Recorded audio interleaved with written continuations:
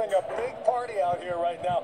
Penguins, of course, the reigning Stanley Cup champions. Can they do it again? Can they do it for a second year in a row?